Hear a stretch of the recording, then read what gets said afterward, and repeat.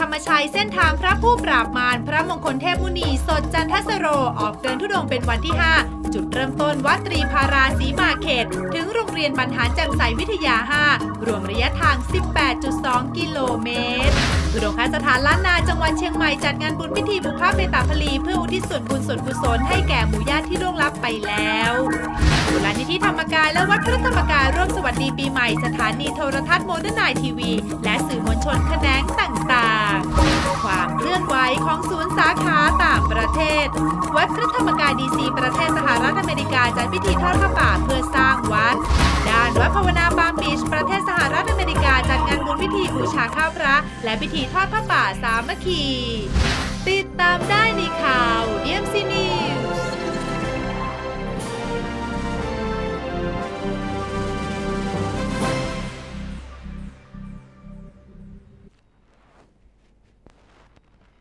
วัสดีค่ะ ขอต้อนรับคุณผู้ชมทุกท่านเข้าสู่ DMC News ประจำวันอังคารที่ 6 มกราคม พุทธศักราช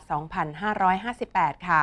สวัสดีคุณผู้ชม DMC จากทั่วโลก และสวัสดีคุณผู้ฟังทางสถานี FM 102.25 MHz ค่ะ คุณผู้ชมทุกท่านสามารถติดตามข่าวสารงานบุญย้อนหลังได้ที่แฟนเพจ DMC News และสามารถส่งข่าวสารกิจกรรมงานบุญมาได้ที่ tv dmc news gmail com ค่ะสำหรับวันนี้ DMC News จะพาทุกท่านไปเกาะติด ทุดงธรรมชัยเส้นทางพระผู้ปราบมารปีที่ 4 โดยในวันนี้เป็นวันที่ 5 ของการเดินทุดงค่ะ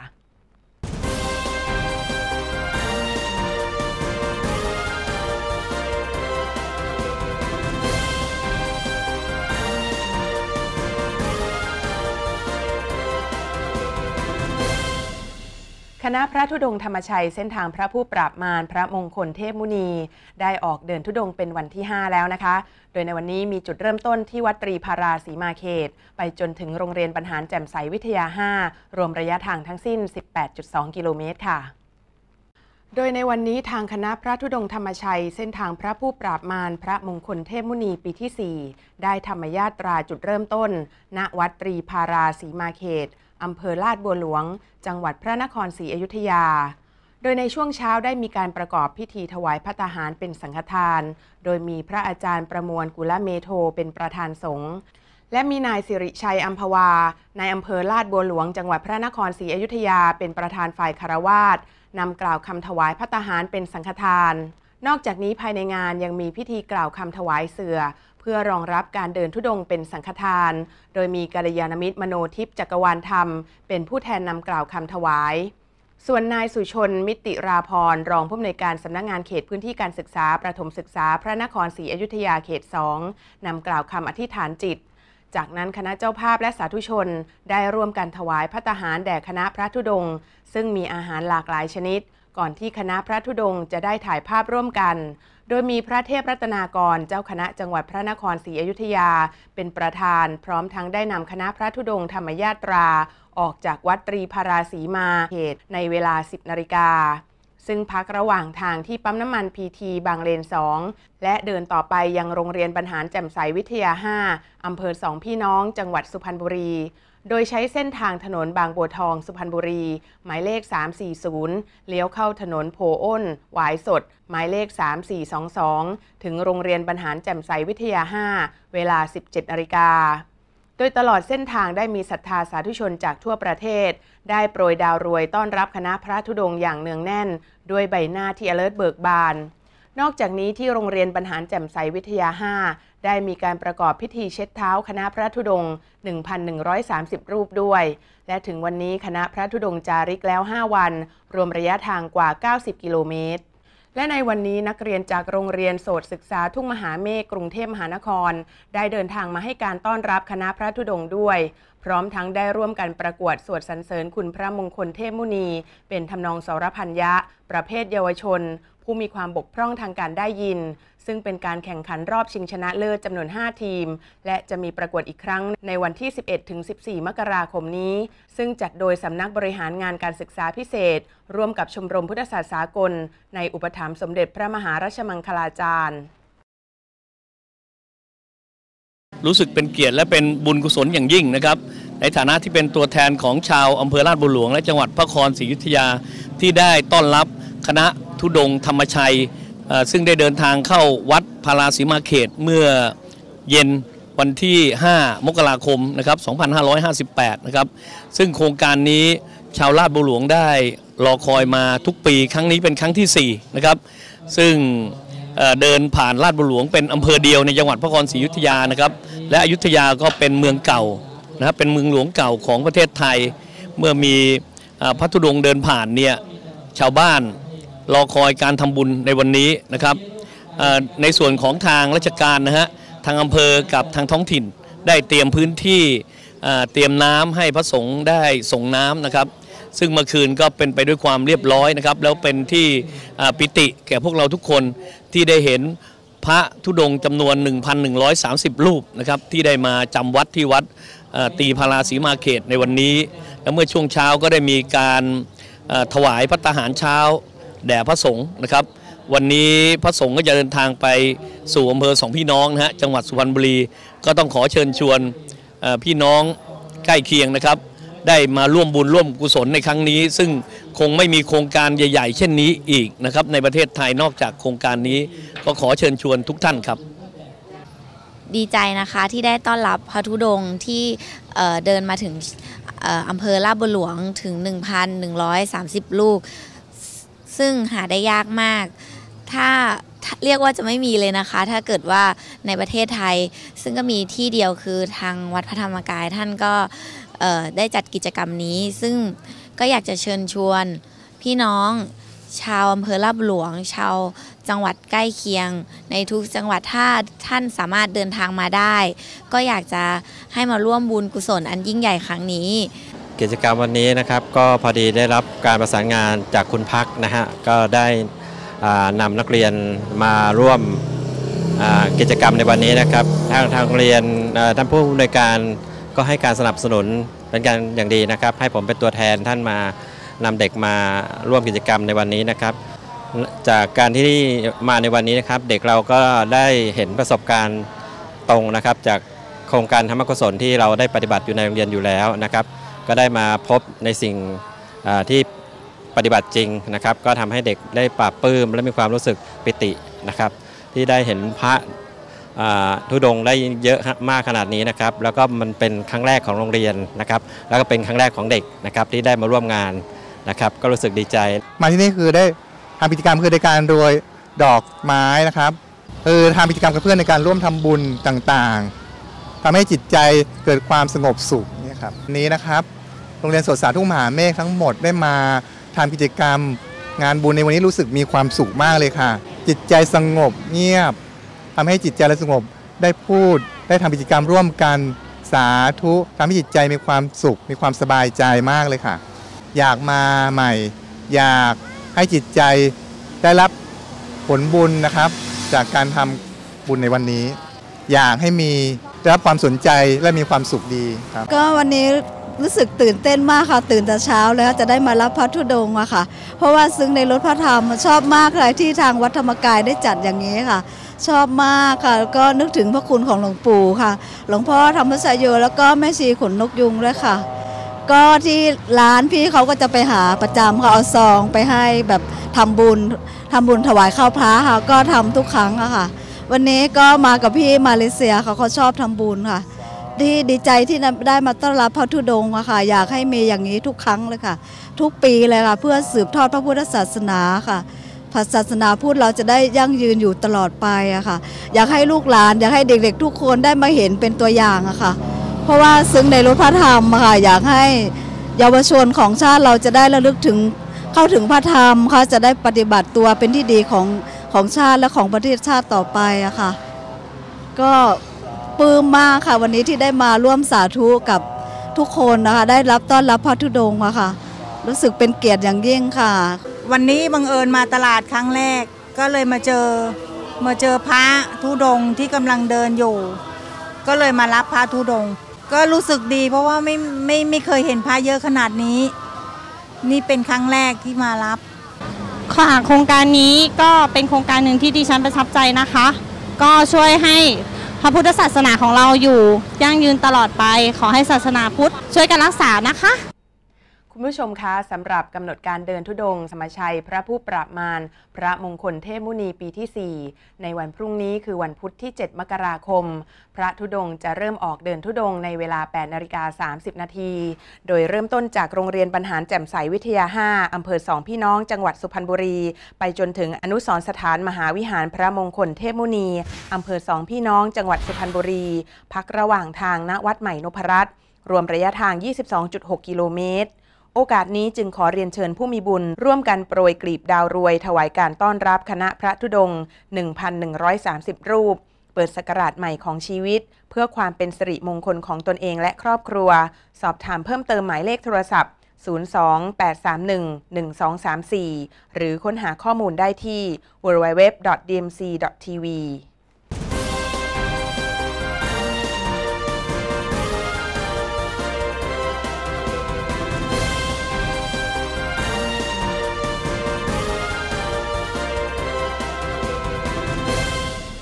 ค่ะก็ต้องขอกราบอนุโมทนาบุญกับผู้มีบุญทุกท่านที่ได้ร่วมกันถวายการต้อนรับคณะพระธุดงธรรมชัย ทั้ง 1,130 รูปมาณโอกาสนี้ด้วยนะคะ และในวันนี้ DMC News มีข่าวสารงานบุญมาให้ทุกท่านได้รับชมกันค่ะ โดยเริ่มต้นจากข่าวเจ้าคณะกรุงเทพมหานคร แนะให้ครูสอนพระปริยติธรรมต้องมีความรู้คู่คุณธรรม เพราะจะเป็นการช่วยสร้างความมั่นคงให้กับพระพุทธศาสนาได้ค่ะ เมื่อเร็วๆ นี้ณวัดสามพระยากรุงเทพมหานคร พระพรหมดิลกกรรมการมหาเถรสมาคม เจ้าคณะกรุงเทพมหานคร เจ้าอาวาสวัดสามพระยา กล่าวในการอบรมครูสอนพระปริยติธรรมแผนกธรรม ประจำปี 2558 ว่า ครูสอนพระปริยติธรรมเป็นผู้มีความสำคัญมากในการเผยแผ่พระพุทธศาสนาที่ถูกต้อง ดังนั้นจึงต้องเป็นผู้มีความรู้ควบคู่คุณธรรม รวมถึงต้องมีอาจาระที่งดงาม เป็นผู้เสียสละ เพื่อให้เป็นที่เคารพของลูกศิษย์และพุทธศาสนิกชน เพราะหากมีพฤติกรรมไม่เหมาะสม ก็จะส่งผลกระทบต่อความเคารพศรัทธา เฉพาะบุคคล และต่อความมั่นคงทางพระพุทธศาสนาได้ด้านในบุญเลิศโสภาผู้อำนวยการกองพุทธศาสนาศึกษากล่าวว่า จากการศึกษาและเก็บข้อมูล ปัญหาการศึกษาสงพบว่า ปัจจุบันมีครูสอนพระปริยติธรรมที่ยังไม่ผ่านการอบรม และไม่ได้ขึ้นทะเบียนเป็นครูสอนจากสำนักงานพระพุทธศาสนาแห่งชาติมากกว่า 10,000 รูปสำนักงานพระพุทธศาสนาแห่งชาติ จึงได้ร่วมกับเจ้าคณะจังหวัด และสำนักงานพระพุทธศาสนาจังหวัด คัดเลือกครูสอนพระปริยติธรรมที่จบนักธรรมเอก สอนนักธรรม ธรรมศึกษามาแล้วไม่น้อยกว่า 2 ปี ไม่เป็นครูพระสอนศิลธรรมของมหาวิทยาลัยสงฆ์ทั้งสองแห่ง ที่ยังไม่ได้รับการอบรมและขึ้นทะเบียน เข้ารับการอบรมเป็นเวลา 5 วัน เมื่อผ่านการอบรมแล้วจะได้รับการขึ้นทะเบียน และได้รับค่าตอบแทนการสอนปีละ 12,000 บาท อย่างไรก็ตามขณะนี้สำนักงานพระพุทธศาสนาแห่งชาติ สามารถดำเนินการอบรมและขึ้นทะเบียนได้เพียงปีละ 200 รูปเท่านั้น เนื่องจากงบประมาณมีจำกัด โดยข้อมูลล่าสุดปี 2557 มีการขึ้นทะเบียนครูสอนพระปริยติธรรมแล้วประมาณ 3,500 รูป วัดสร้อยทอง กรุงเทพมหานคร จัดพิธีปฐมนิเทศ อบรมบาลีก่อนสอบ ในระดับชั้นปรริญญาธรรมประโยค 6-9 ค่ะ พระมหาโพธิวงศาจารย์ เจ้าอาวาสวัดราชโอรสาราม เป็นประธานสงฆ์ในพิธีปฐมนิเทศ อบรมบาลี ก่อนสอบชั้นปรริญญาธรรมประโยค 6-7 ประจำปีการศึกษา 2557 ถึง 2558 ณสำนักเรียนวัดสร้อยทอง เขตบางซื่อกรุงเทพมหานคร โดยมีพระมหาปรีชาจิตตะปริสุทธโธ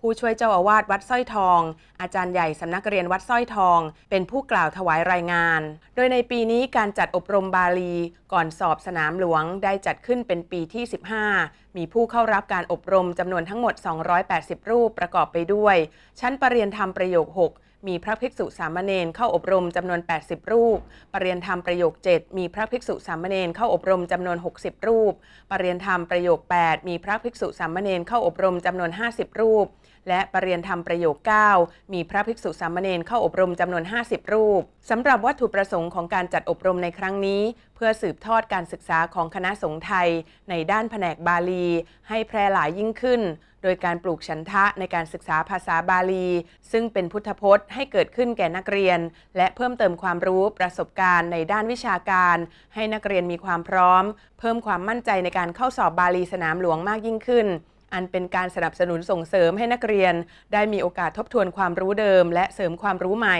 ซึ่งถือว่าเป็นสิ่งจำเป็นต่อการเตรียมความพร้อม ก่อนสอบบาลีสนามหลวง ทุดงคสถานล้านนาจังหวัดเชียงใหม่ ได้จัดพิธีปุพพะเปทพรี อุทิศบุญกุศลให้กับหมู่ญาติที่ล่วงลับไปแล้วค่ะ ภายในงานสาธุชนได้พร้อมกันณสภาธรรมกายล้านนา โดยนำรูปหรือเขียนชื่อและนามสกุลของผู้วายชนมาร่วมในพิธีด้วย โดยเมื่อคณะสงฆ์มายังศูนย์กลางพิธี ได้นำสาธุชนบูชาพระรัตนตรัย ก่อนที่ทุกท่านจะได้ร่วมกันทอดผ้าบางสกุล และถวายเทยธรรมแด่คณะสงฆ์เพื่ออุทิศแด่หมู่ญาติที่ล่วงลับ จากนั้นเป็นพิธีจุดประทีปถวายเป็นพุทธบูชา สวดสรรเสริญคุณของพระรัตนตรัย และในโอกาสนี้ท่านประธานสงฆ์ได้แสดงธรรมความจริงของชีวิตหลังความตาย ที่หมู่ญาติของสาธุชนทุกท่านที่มาทำบุญในวันนี้ ต่างรอคอยบุญจากหมู่ญาติที่ยังมีชีวิตอยู่ ได้ระลึกถึงท่านที่ล่วงลับไปแล้ว และทำบุญอุทิศบุญกุศลไปให้ทุกวัน ไม่ใช่เพียงแต่วันพระเท่านั้น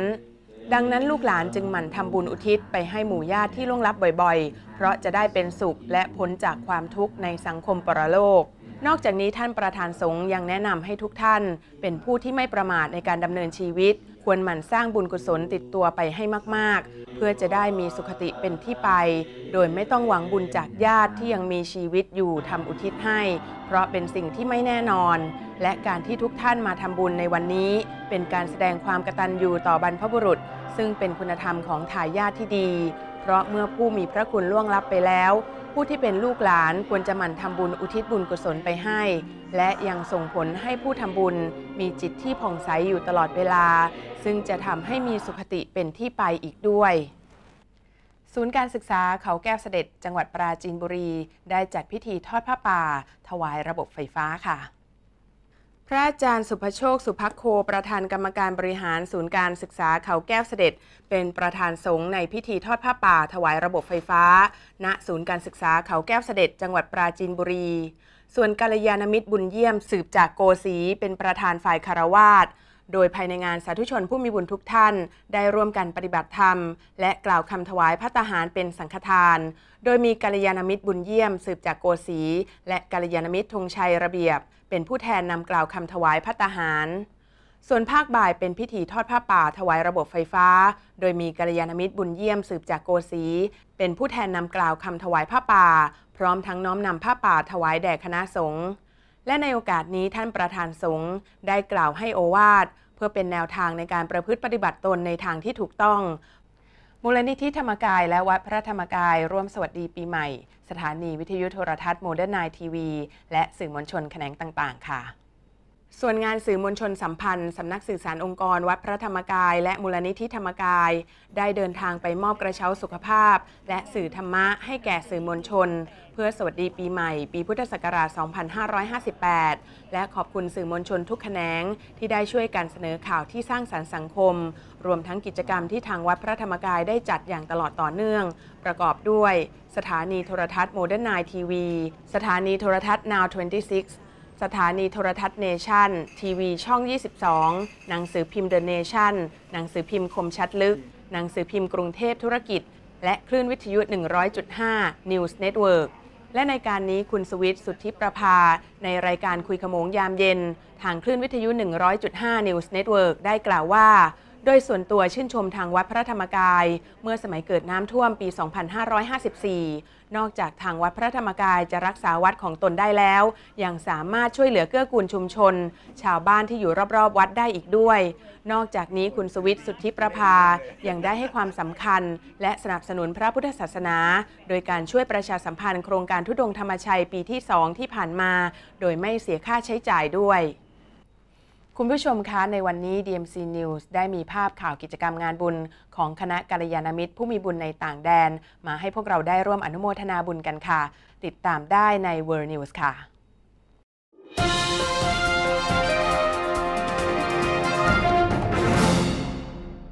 วัดพระธรรมกายดีซีประเทศสหรัฐอเมริกาได้จัดพิธีทอดผ้าป่าเพื่อสร้างวัด ภายในงานทุกท่านได้ร่วมกันสวดมนต์นั่งสมาธิกลั่นใจให้ใส ก่อนที่จะประกอบพิธีถวายพัตตาหารเป็นสังฆทาน โดยมีกัลยาณมิตรสุรดีจิวรวิวัฒและกัลยาณมิตรสิริเพนประมูลทรัพย์ เป็นประธานนำกล่าวคำถวาย จากนั้นผู้มีบุญทุกท่านได้ร่วมกันตักบาตรและถวายพัตตาหารเพนที่จัดอย่างประณีตแด่คณะสงฆ์ส่วนภาคบ่ายเป็นพิธีทอดผ้าป่าเพื่อสร้างวัด โดยมีกัลยาณมิตรวินมาลีวัฒน์และกัลยาณมิตรเกศสุดาวีรขจร เป็นประธานนำกล่าวคำถวายผ้าป่า พร้อมทั้งได้น้อมนำผ้าไตรจีวร และจตุปัจจัยทยธรรมถวายแด่ประธานสงฆ์ในโอกาสนี้ท่านประธานสงฆ์ได้กล่าวให้โอวาทเพื่อเป็นกำลังใจในการสร้างบารมี ด้านวัดพระธรรมกายปาล์มบีชประเทศสหรัฐอเมริกาได้จัดงานบุญพิธีบูชาข้าวพระ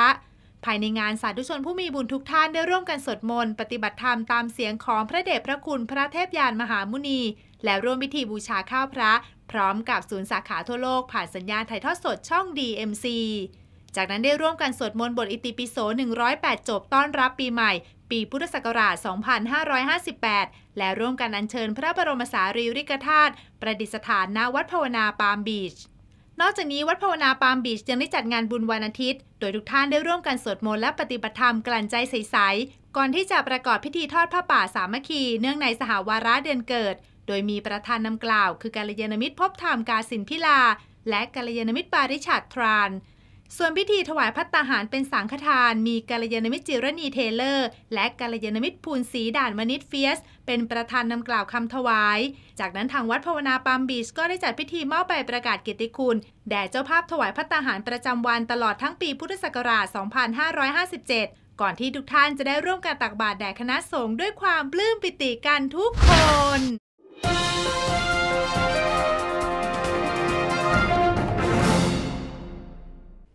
และทั้งหมดนี้ก็คือข่าวสารสาระดีๆ จาก DMC News นะคะ วันนี้ดิฉันพัทรพรศิลปาจารย์และทีมข่าวทุกคนต้องขอลาไปก่อน พบกันใหม่ในครั้งต่อไป สวัสดีค่ะ